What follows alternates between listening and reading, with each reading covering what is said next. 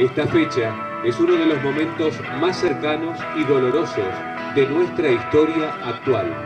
Es por eso que deseamos recordar la experiencia de los jóvenes que participaron de la Guerra de Malvinas desde el servicio que han hecho a nuestra patria.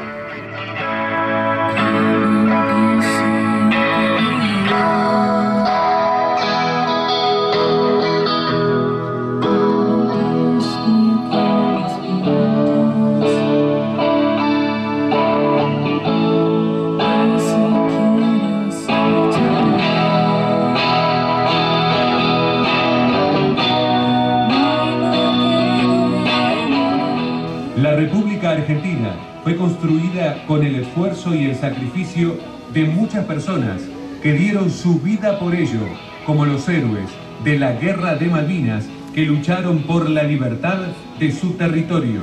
En el marco de los 40 años de la gesta de Malvinas, la comuna de Helvecia decide honrar a nuestros excombatientes declarándolos personas honorables de la localidad de Helvecia bajo la ordenanza número 25 barra 2022 de fecha 30 de marzo 2022.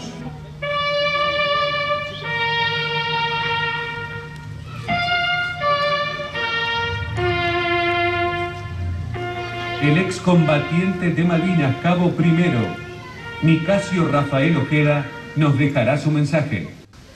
Hoy es un día muy especial, se cumplen 40 años de la guerra de Malvinas.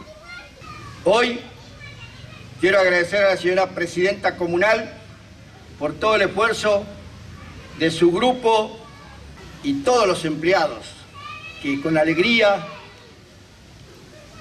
dejaron esta plaza hermosa. Este es mi pueblo y a mi pueblo lo cuido. Hoy me siento muy feliz de ver las instituciones y son los que marcan el camino. Gracias por todo y estoy muy emocionado. Sobreviviendo.